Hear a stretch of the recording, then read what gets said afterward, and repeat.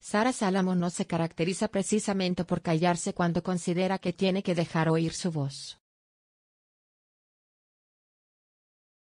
La actriz y pareja del futbolista del Real Madrid Isco Alarcón tiene en la lucha por los derechos de los animales uno de los elementos centrales de su actividad social, y ese ha sido el motivo por el que ha vuelto a bajar a la arena de las redes sociales, a tambores batientes y banderas desplegadas.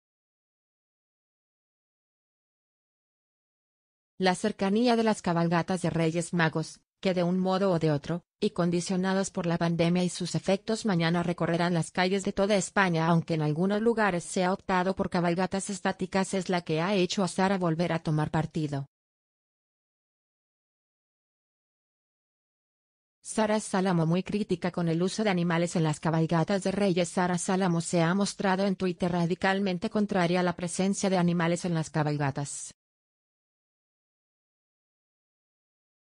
Pese a que en los últimos años se ha limitado bastante su presencia hace poco tiempo eran inexcusables los camellos de unos reyes magos, que ahora suelen transitar en carrozas, ni siquiera una presencia casi simbólica le basta a Sara, que exige que no se emplee animales en ningún espectáculo, reclamando su puesto para actores, cantantes y acróbatas.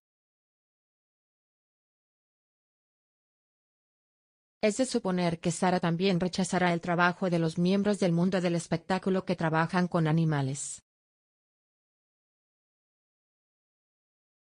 También se le ha interpelado en redes sociales sobre su opinión sobre los animales que intervienen en los rodajes.